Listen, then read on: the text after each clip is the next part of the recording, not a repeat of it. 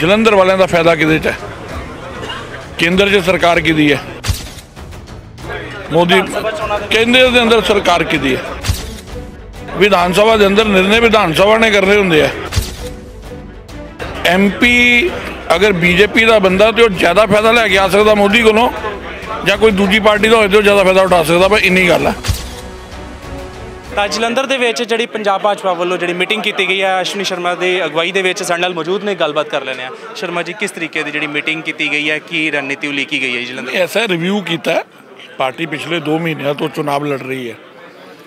Candidate ਦੀ ਘੋਸ਼ਣਾ ਚਾਹੇ 2 ਦਿਨ ਪਹਿਲਾਂ ਹੋਈ ਹੈ, ਲੇਕਿਨ ਚੁਣਾਵ ਲੜਨ ਲਈ ਜੋ ਜੋ ਚੀਜ਼ਾਂ ਪਾਰਟੀ ਨੂੰ ਕਰਨਾ ਜ਼ਰੂਰੀ ਹੁੰਦੀਆਂ, ਉਹ ਬੂਥ ਤੋਂ- ਤੋਂ ਲੈ ਕੇ ਉੱਪਰ ਤੱਕ ਦੀ ਹਰ ਬੰਤਰ ਨੂੰ ਪਾਰਟੀ ਨੇ ਪੂਰੀ ਤਰ੍ਹਾਂ ਨਾਲ ਤੰਦਰੁਸਤ ਕਰ ਲਿਆ ਔਰ ਆਪਣਾ ਵਰਕਰ ਜਿਹੜਾ ਵਿਧਾਨ ਸਭਾ ਦੇ ਅੰਦਰ ਆਪਣੇ ਕੰਮ ਤੇ ਡਟ ਗਿਆ। ਤੁਹਾਨੂੰ ਕਿਉਂ ਲੱਗਦਾ ਹੈ ਕਿ ਲੋਕ ਭਾਜਪਾ ਨੂੰ ਜਿਹੜਾ ਸਮਰਥਨ ਦੇਣਗੇ? ਕਿਉਂਕਿ ਹਰ ਇੱਕ ਪਾਰਟੀ ਦਾਵਾ ਠੋਕ ਰਹੀ ਹੈ। ਤੁਸੀਂ ਕੀ ਰਣਨੀਤੀ ਦੱਸੋ ਮੈਨੂੰ ਦੱਸੋ। ਪੰਜਾਬੀ ਜਲੰਧਰ ਵਾਲਿਆਂ ਦਾ ਫਾਇਦਾ ਕਿਹਦੇ 'ਚ ਹੈ? ਕੇਂਦਰ 'ਚ ਸਰਕਾਰ ਕਿਹਦੀ ਹੈ? ਮੋਦੀ ਕੇਂਦਰ ਦੇ ਅੰਦਰ ਸਰਕਾਰ ਕਿਹਦੀ ਹੈ? ਵਿਧਾਨ ਸਭਾ ਦੇ ਅੰਦਰ ਨਿਰਣੇ ਵਿਧਾਨ ਸਭਾ ਨੇ ਕਰਨੇ ਹੁੰਦੇ ਆ।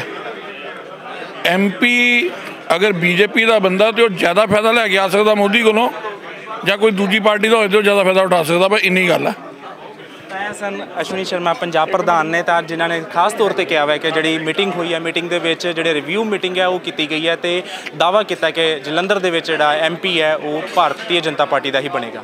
ਤੇ ਦੇਖਣਾ ਹੋਵੇਗਾ ਕਿ ਜਿਹੜਾ ਫੈਸਲਾ ਹੈ ਉਹ ਜਨਤਾ ਦੇ ਹੱਥ ਦੇ ਵਿੱਚ ਹੈ ਕਿ ਜਦੋਂ ਚੋਣ ਹੁੰਦੀ ਹੈ, ਤਾਂ ਉਸ ਤੋਂ ਬਾਅਦ ਜਿੱਤ ਜਿਹੜੀ ਕਿਸ ਦੇ ਹੱਥ ਲੱਗਦੀ ਹੈ। ਕੈਮਰਾਮੈਨ ਅਰਸ਼ਦੀਪ ਦੇ ਨਾਲ ਮੋਹਿਤ ਤਲਵਾਰ, ਦਾ ਸਮਰ ਨਿਊਜ਼ ਜਲੰਧਰ। ਤਾਂ ਜਲੰਧਰ ਦੇ ਵਿੱਚ ਜਿਹੜੀ ਪੰਜਾਬ ਭਾਜਪਾ ਵੱਲੋਂ ਜਿਹੜੀ ਮੀਟਿੰਗ ਕੀਤੀ ਗਈ ਹੈ, ਅਸ਼ਵਨੀ ਸ਼ਰਮਾ ਦੀ ਅਗਵਾਈ ਦੇ ਵਿੱਚ ਸਾਡੇ ਨਾਲ ਮੌਜੂਦ ਨੇ, ਗੱਲਬਾਤ ਕਰ ਲੈਣੇ ਆ ਸ਼ਰਮਾ ਜੀ, ਕਿਸ ਤਰੀਕੇ ਦੀ ਜਿਹੜੀ ਮੀਟਿੰਗ ਕੀਤੀ ਗਈ ਹੈ, ਕੀ ਰਣਨੀਤੀ ਉਲੀਕੀ ਗਈ ਹੈ ਜੀ ਜਲੰਧਰ ਐਸਾ ਰਿਵਿਊ ਕੀਤਾ ਪਾਰਟੀ ਪਿਛਲੇ 2 ਮਹੀਨਿਆਂ ਤੋਂ ਚੁਣਾਵ ਲੜ ਰਹੀ ਹੈ।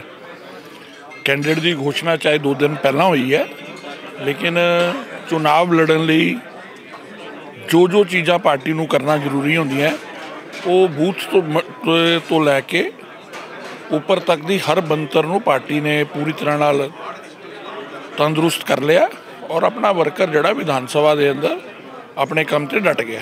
ਤੁਹਾਨੂੰ ਕਿਉਂ ਲੱਗਦਾ ਹੈ ਕਿ ਲੋਕ ਭਾਜਪਾ ਨੂੰ ਜਿਹੜਾ ਸਮਰਥਨ ਦੇਣਗੇ ਕਿਉਂਕਿ ਹਰ ਇੱਕ ਪਾਰਟੀ ਦਾਵਾ ਠੋਕ ਰਹੀ ਹੈ। ਤੁਸੀਂ ਕੀ ਦੱਸੋ ਮੈਨੂੰ ਦੱਸੋ ਪੰਜਾਬੀ ਜਲੰਧਰ ਵਾਲਿਆਂ ਦਾ ਫਾਇਦਾ ਕਿਹਦੇ 'ਚ ਹੈ?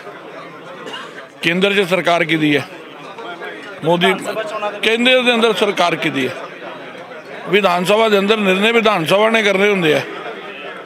ਐਮਪੀ ਅਗਰ ਬੀਜੇਪੀ ਦਾ ਬੰਦਾ ਤੇ ਉਹ ਜ਼ਿਆਦਾ ਫਾਇਦਾ ਲੈ ਕੇ ਆ ਸਕਦਾ ਮੋਦੀ ਕੋਲੋਂ, ਜਾਂ ਕੋਈ ਦੂਜੀ ਪਾਰਟੀ ਦਾ ਹੋਵੇ ਤੇ ਉਹ ਜ਼ਿਆਦਾ ਫਾਇਦਾ ਉਠਾ ਸਕਦਾ ਬਸ ਇੰਨੀ ਗੱਲ ਹੈ, ਸਨ ਅਸ਼ਵਨੀ ਸ਼ਰਮਾ ਪੰਜਾਬ ਪ੍ਰਧਾਨ ਨੇ, ਤਾਂ ਜਿਨ੍ਹਾਂ ਨੇ ਖਾਸ ਤੌਰ ਤੇ ਕਿਹਾ ਹੈ ਕਿ ਜਿਹੜੀ ਮੀਟਿੰਗ ਹੋਈ ਹੈ ਮੀਟਿੰਗ ਦੇ ਵਿੱਚ ਜਿਹੜੇ ਰਿਵਿਊ ਮੀਟਿੰਗ ਹੈ, ਉਹ ਕੀਤੀ ਗਈ ਹੈ ਤੇ ਦਾਵਾ ਕੀਤਾ ਕਿ ਜਲੰਧਰ ਦੇ ਵਿੱਚ ਜਿਹੜਾ ਐਮਪੀ ਹੈ, ਉਹ ਭਾਰਤੀ ਜਨਤਾ ਪਾਰਟੀ ਦਾ ਹੀ ਬਣੇਗਾ। ਤੇ ਦੇਖਣਾ ਹੋਵੇਗਾ ਕਿ ਜਿਹੜਾ ਫੈਸਲਾ ਹੈ ਉਹ ਜਨਤਾ ਦੇ ਹੱਥ ਦੇ ਵਿੱਚ ਹੈ ਕਿ ਜਦੋਂ ਚੋਣ ਹੁੰਦੀ ਹੈ, ਤਾਂ ਉਸ ਤੋਂ ਬਾਅਦ ਜਿੱਤ ਜਿਹੜੀ ਕਿਸ ਦੇ ਹੱਥ ਲੱਗਦੀ ਹੈ। ਕੈਮਰਾਮੈਨ ਅਰਸ਼ਦੀਪ ਦੇ ਨਾਲ ਮੋਹਿਤ ਤਲਵਾਰ ਦਾ ਸਮਰ ਨਿਊਜ਼ ਜਲੰਧਰ।